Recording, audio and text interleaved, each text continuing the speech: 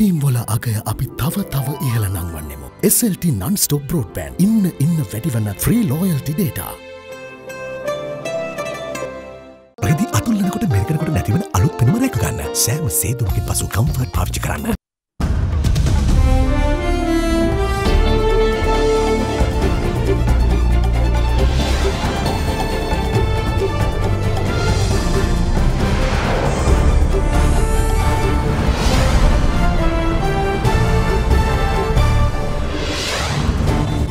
අද දෙදහස් විස්ස පෙබරවාරිදා හතර සිකුරාදා. සිරස්තල. උදයංග වීරතුංග රිමාන්ඩ්.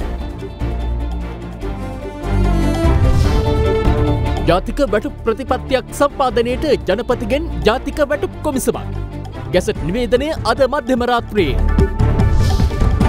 රනිල් සහ සජිත් පාර්ශව ඉදිරි මහමැතිවරණයට හන්සයා ලකුඩින් මැතිවරණ කොමිසමට දැනුම් දෙයි.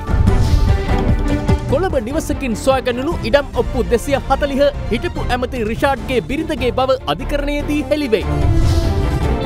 වූහාන් සිට පැමිණ දිනදා හතරක් හමුදාභාරයේ සිටි ලාංකිකයින් නිවෙස් වෙත. සිරස්ථාන රෙක්සෝනා රෝලෝන් දවසපුරා ඔබේ අත්යට වියලිව තබමින් ෆ්‍රෙෂ් බව දිකු කාලයක් රඳවයි. From Ada Derana, this is Ada Derana, Late Night Prime. Live from Studio 24 in Colombo.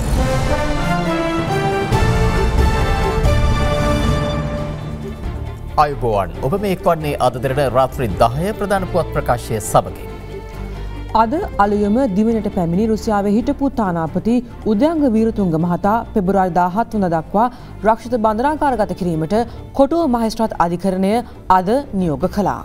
ඒ මිග්‍යාන ගණුතෙනුවක් සම්බන්ධයෙන් සිදුවන විමර්ශනයට අදාළවයි. The big story. විදේශගතව සිටි රුසියාවේ හිටපු ශ්‍රී ලංකාතානාපති උද්‍යංග වීරතුංග මහතා අද අලුයම හතරයිතිස් හතට ඕමානේ මස්කට්හි සිට පැමිණි ශ්‍රී ලංකන් ගුවන් සේවේ UL දෙසි අටධරණ ගුවන්යානයෙන් කටුනායක ගුවන්තොට පෙළ වෙත පැමිණියා. එහිදී ඔහු අත්තඩංගුවටගෙන ඇත්තේ අපරාධ පරීක්ෂණ දෙපාර්තමේන්තුව විසින්. ඒ මිග්‍යාන ගණුදනුවක් සම්බන්ධයෙන් අපරාධ පරීක්ෂණ දෙපාර්තමේන්තුව විසින් සිදු කරනු ලැබූ විමර්ශනයකට අදාළවයි. මිග්‍යානා මිලදී ගැනීමේදී වංචාවක් සිදු කළ බවට පොලිස් මූල්‍ය අපරාධ විමර්ශන කොට්ටාසය පසුගේ රජ්‍ය සමය සිදු කළ විමර්ශනයකට අදාළව උදයංග වීරතුංග මහතා සැකකරුවෙකු ලෙස නම් කර තිබුණා. වීරතුංග මහතා අත්තඩංගුවට ගෙන අධිකරණයට ඉදිරිපත් කරන ලෙස දන්වා කොටුව මහිස්ත්‍රාත් අධිකරණය විසින් දෙදහස් දහට වසරේ මාර්තු මස දහසේ වනදා විවෘතවරෙන්තු නිකුත් කළා. අද අත්තරංගොට පත් වූ උදයංග වීරතුංග මහතා පස්සුරු හයයි හතලිහට පමණ කොටුව මහිස්ත්‍රාත් අධිකරණය වෙත ඉදිරිපත් කළා. එහිදී අධිකරණය නියෝග කළේ සැකකරු එළබෙන පෙබරවාරිදා හත්වනදා දක්වා රක්ෂිත බන්ධනාගාර ගත කරන ලෙසයි.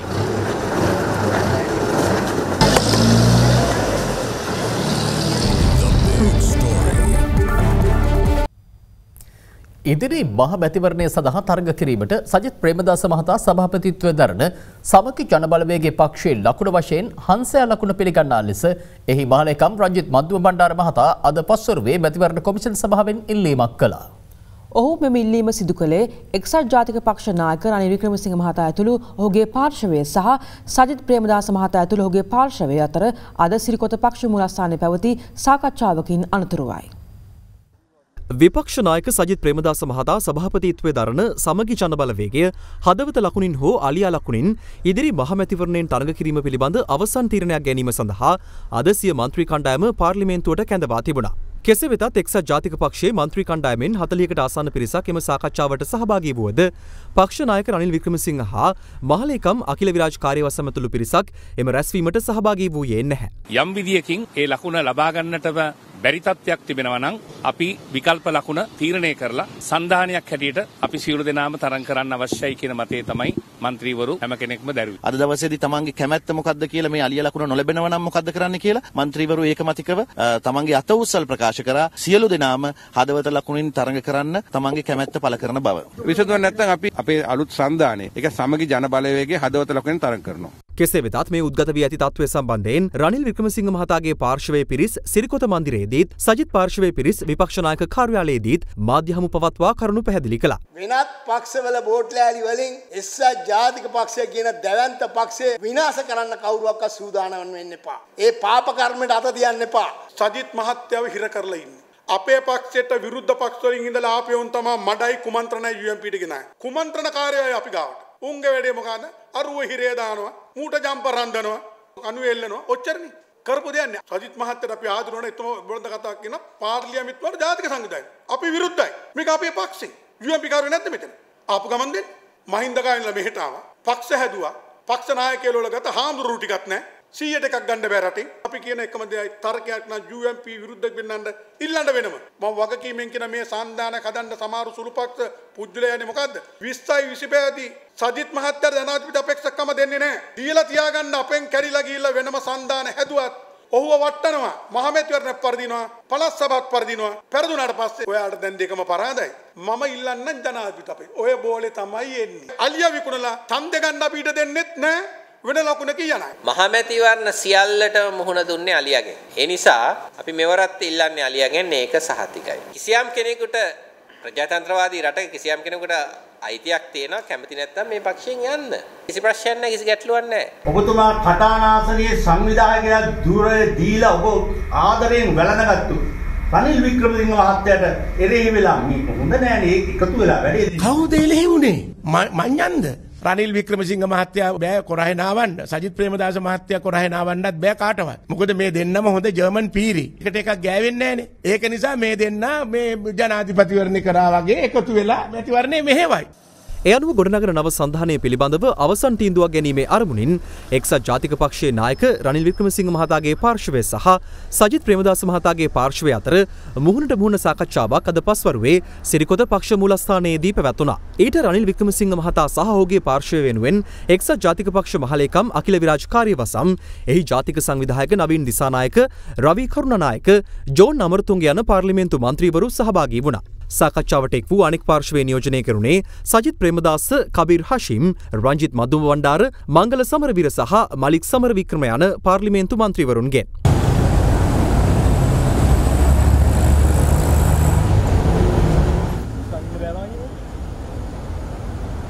සියට අනුපහක්ම හරි සියලු දෙනාම සතුට වෙන විදිහට ලාංජනය ගැන සාර්ථකව අපි සාකච්ඡා කරා. ඒ විකල්ප දෙක ගැන අපි සාකච්ඡා කරා විකල්ප දෙක ගැන මේ පාර්ශව දෙකම සෑහීමකට පත් වෙනවා. සාකච්ඡා සාර්ථකයි දෙකොල්ලොම එකට වැඩ කරන්න තීරණය කළා තියෙනවා. ඉතින් එතින්දී අතර මේ අලිය ලකුණ දීම ගැන මේ සාකච්ඡා වුණා. අවසාන තීන්දුවකට ආවා නීත්‍යානුකූලව ඒ කටයුතු අවසන් කරලා අපි මාධ්‍යට ඒ සම්බන්ධ ප්‍රකාශ කරනවා. මොන ආකාරයෙන් හරි මොනාර ලකුණක් අරන් ශක්තිමත්ව එකමුතුව තරම් කරනවා. මහමැතිවරණදී නාම යෝජනා සම්බන්ධයෙන් බලය හිමි වෙන්නේ ඔබතුමාටද පක්ෂ මහලේකම් අකිල විරාජ් අපි ඒ සම්බන්ධව ඉදිරියේදී සාකච්ඡා කරලා තීරණය කරන කිසිම ප්‍රශ්නයක් නැහැ.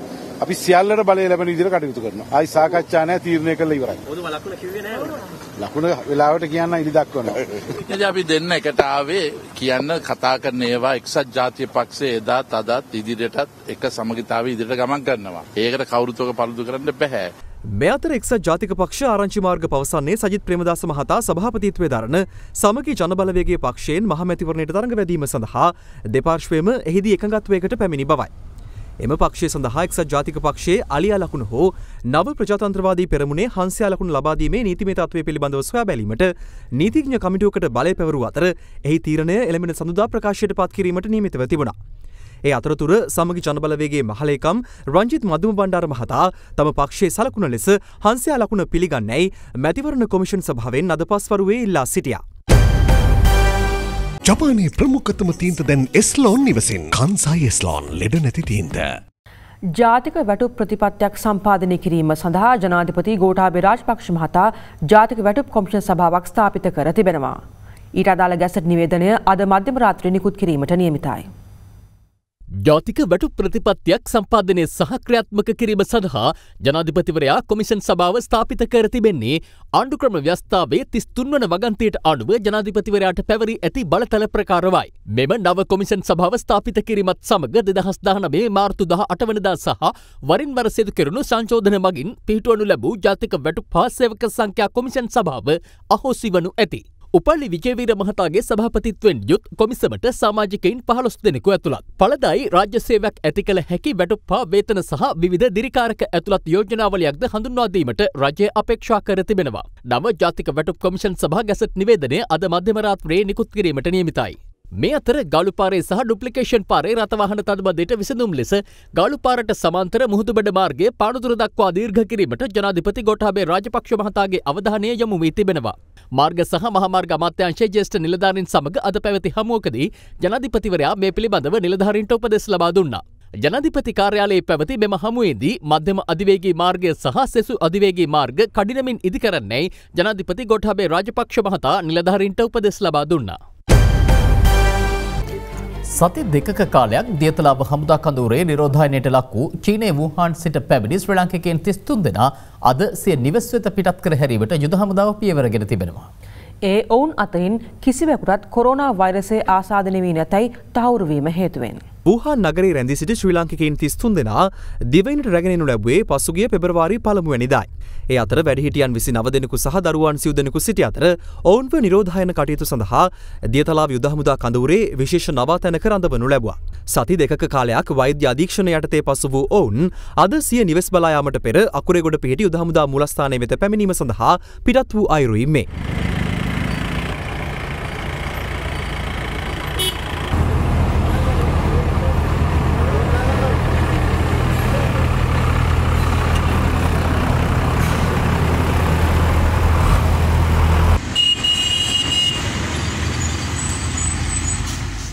අද පස්වරු තුනයි තිහට පමණ ඔවුන් යුද හමුදා මුලස්ථානය වෙත පැමිණිය.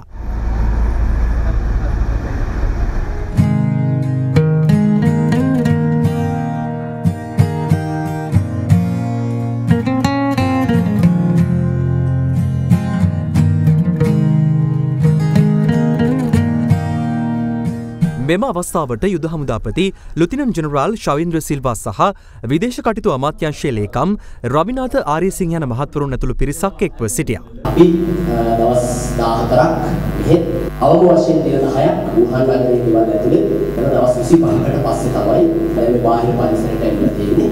දැනෙන සතුට වචන වලින් කියන්න බැරි තරම් මේ උදා මෙහෙයුමක් සේ පෙරුණා යුද්ධයකටත් වඩා විශාල මෙහෙයුම පිටුපස්සේ ඉඳපු නිහඬ වීරයින්ට අපේ ස්තුතිය පත් කරනවා. මම කැමති මේ මෙහෙයුම කොටස් දෙකකට බෙදන්න.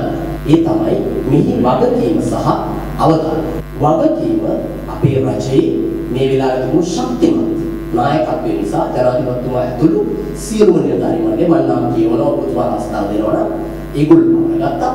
මෙහි අවධානයම ශ්‍රී ලංකාවේ විශිෂ්ට පුරවැසියන් ලෙස සලකන්න පුළුවන් ශ්‍රී ලංකා ගුවන් සමාගමේ මේ ගුවන් යානයේ ගුවන් නියමුවා ප්‍රමුඛ කාර්ය මණ්ඩලයක් ඉන් අනතුරුව ගුවන් හමුදාව ඉන් අනතුරුව ශ්‍රී ලංකා යුද්ධ හමුදාව පාරට කොරුණ වෛරසය පිළිබඳව මෙරට තුළදී සිදුවන පරීක්ෂණ සම්බන්ධයෙන් වෛද්‍ය පර්ේෂණ ආයතනය අධ්‍යක්ෂ වෛද්‍ය ජයරුවන් බණ්ඩාර මහතාද මාධ්‍යහමුකදී අදහස් පල කලා. මේ චීනිදං ආපු ළමයිව අපි කොරෝනා වැළඳිලාද නැද්ද කියලා බලන්න සෞඛ්‍ය අමාත්‍යංශයේ යොදන ලද යාන්ත්‍රණය මගින් නිරන්තර පරීක්ෂාවට ලක් කරා. ඒ අනුව විද්‍යාත්මකවම තහවුරු කරලා තියෙනවා ඒ දරුවන්ට කොරෝනා වෛරස් ආසාදනයක් නොමැති බවට. මේ වන විට කොරෝනා වෛරස් ආසාදිතයයි සැක කරන ලද සාම්පල 60කට ආසන්න සංඛ්‍යාවක් වෛද්‍ය පරීක්ෂණ ආයතනයට ලැබිලා තියෙනවා. නමුත් අපිට තාමත් හම්බුනේ මීට සති 3කට ඉස්සෙල්ලා හම්බෙච්ච චීන දාතික කාන්තාව විතරයි. එතුමියගෙත් ශරීරයේ තියෙන වෛරස් ප්‍රමාණය අඩුවමින් යන බවටත් එතුමිය ඉතාමත් ඉක්මනින්ම සුව වෙන බවටත් වෛද්‍ය පරීක්ෂණ වලින් ඔප්පු වෙලා තියෙනවා. එය 200ක්ම තහවුරු වුණාට පස්සේ තමයි එතුමියව අපි කොරෝනා නැහැයි කියලා කියන්නේ. මොකද අනිත් මහ ජනතාවගේ සුරක්ෂිතතාවය වෙනුවෙන්. කොළඹ පිහිටි නිවසකින් අපරාධ පරීක්ෂණ දෙපාර්තමේන්තුව පසුගිය දස්වා ගත් ආන්දෝලනයට තුඩුදුන් ඉඩම් ඔප්පු හිටපු අමාත්‍ය රිෂාඩ් බදුද්දීන් මහතාගේ බිරිඳට අයත් බව අපරාධ පරීක්ෂණ දෙපාර්තමේන්තුව අද අනාවරණය කළා. ඒ සිද්ධිය සම්බන්ධ නඩුව ගල්කිස්ස මහිස්ත්‍රාත් අධිකරණයේදී අද කැද වූ අවස්ථාවේ. ඒ අනුව හිටපු අමාත්‍ය රිෂාඩ් බදුදීන් මහතාගේ බිරිඳගෙන් ප්‍රකාශයක් ලබා ගැනීමටද අපරාධ පරීක්ෂණ දෙපාර්තමේන්තුවට අධිකරණයෙන් අවසර හිමි වුණා. අපරාධ පරීක්ෂණ දෙපාර්තමේන්තුව විසින් කොළඹ පහ ඉසිපතන මාවතේ නිවසක් ඉකුත් දහවනදා පරීක්ෂාවට ලක්කොට එහි තිබී මුදල් ලේඛන සහ ඔප්පු පිටපත් දෙසිය හතලිහක් සිය භාරයට ගැනුණා. සතුස ආයතනය තුළ සිද වූ කණදනුවලට අදාළ ලිපිලේඛන තොගයක් සහ හිටපු අමාත්‍ය රිෂාඩ් වදයෝදීන් මහතා විසින් විවිධ පුද්ගලින්ගේ නම්වලින් ලබාගත් අක්කර සිය ගණනක ඉඩම් ඔප්පු ඒ අතර වූ බවයි වාර්තා වූයේ. එම නිවසේ හිමිකරු ඉම්රාන් මොහමඩ් නැමැත්තා අපරාධ පරීක්ෂණ දෙපාර්තමේන්තුවට එදින සඳහන් කළේ එම ලේඛන හිටපු අමාත්‍ය රිෂාඩ් බදයෝදීන් මහතාගේ සහෝදරයාට අයත් මෙගා කන්ස්ට්‍රක්ෂන් ආයතනයේ සේවකයෙකු තමන්ට ලබා දුන් බවයි. නමුත් සතුස ආයතනයේ ලිපිලේඛන ළඟ තබා ගැනීමට සැකපිට නිවසිමියා අත්අඩංගුවටගෙන ගල්කිස්ස මහේස්ත්‍රාත් අධිකරණයට ඉදිරිපත් කිරීමෙන් පසු රක්ෂිත බන්ධනාගාරගත කෙරුණා. එම නඩුව අද කැඳවනු ලැබුවේ ගල්කිස්ස ප්‍රධාන මහිස්ත්‍රාත් මොහමඩ් මිහල් මහතා ඉදිරියේ. එහිදී අපරාධ පරීක්ෂණ දෙපාර්තමේන්තු නිලධාරීන් අධිකරණයට පැවසුවේ ලිපිලේඛන අතර තිබූ මුදල් පොරොන්දු පත්‍රයක් සම්බන්ධව නිවසේ හිමිකරු අසත්‍ය ප්‍රකාශයක් සිදු කළ බවයි. එම මුදල් පොරොන්දු පත්‍රයේ වටිනාකම රුපියල් නවලක්ෂ තිස් පන්දහසක් බවට එම පුද්ගලයා සඳහන් කළද එහි සත්‍ය වටිනාකම රුපියල් නවකෝටි අසු නව ලක්ෂ තිස් පන්දහසක් බව අපරාධ පරීක්ෂණ දෙපාර්තමේන්තුව අධිකරණය හමුවේ අනාවරණ කළා. සිය භාරයට ගත් ඉඩම් ඔප්පු රිෂාඩ් බදයුදීන් හිටපු අමාත්‍යවරයාගේ බිරිඳට අයත් බව වැඩිදුර පරීක්ෂණවලදී හෙළි වී තිබෙනවා. ඒ අනුව ඒ පිළිබඳ රිෂාඩ් බදයුදීන් හිටපු අමාත්‍යවරයාගේ බිරිඳ වන KMMI අමිෂාගෙන් ප්‍රකාශයක් ලබා ගැනීමට මහිස්ත්‍රාත්වරයාගෙන් අපරාධ පරීක්ෂණ දෙපාර්තමේන්තුව කළ ඉල්ලීමට අවසර හිමි වූ අතර ඇයකින් ඉදිරි දිනකදී ප්‍රකාශයක් ලබා ගැනීමට නියමිතයි. සැකකාර නිවැස්සිමියා යළි රක්ෂිත බන්ධනාගාරගත කිරීමටත් මෙම නඩුව එළඹෙන විසියට වනදා යළි කැඳවීමටත් මහිස්ත්‍රාත්වරයා නියෝග කළා. දැන් තවත් දේශීය පුවත් කිහිපයක්. පාස්කු ඉරුදින කොළඹ ශංග්‍රලා හෝටලේට මරාගෙන මැරණ බෝම්බ ප්‍රහාර එල්ල කළ මොහමඩ් ඉල්හාම් අහමඩ්ගේ පියාවන මොහමඩ් ඉබ්‍රාහිම් ඇතුළු සැකකරුවන් හය දෙනා ලබන විසි අට වන දාතෙක් යළි රක්ෂිත බන්ධනාගාරගත කිරීමට කොළඹ මහිස්ත්‍රාත් අධිකරණය අද නියම කළා. කටුවන පොලිසියට අනියුක්තව සේවය කළ පොලිස් කොස්තාපල්වරයෙකු අද උදෑසන සිය සේවාමුරය අවසන් කර යමින් සිටියදී යතුරු පැදි අනතුරට ලක්වීමෙන් ජීවිතක්ෂයට පත් වුණා. අනතුර සිදුවන ආකාරය CCTV කමරාවක මෙලෙස සටහන්ව තිබුණා.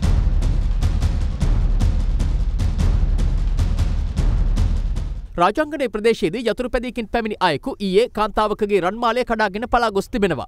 කාන්තාව ඒ පිළිබඳව ඇගේ ස්වාමි පුරුෂයා දැනුවත් කර ඇති අතර ඔහු සිය මෝටර රථයෙන් සොරුන් හමා යන අතරතුර රථය ඔවුන්ගේ යතුරු පැදියේ ගැටි අනතුරක් සිදු වුණා.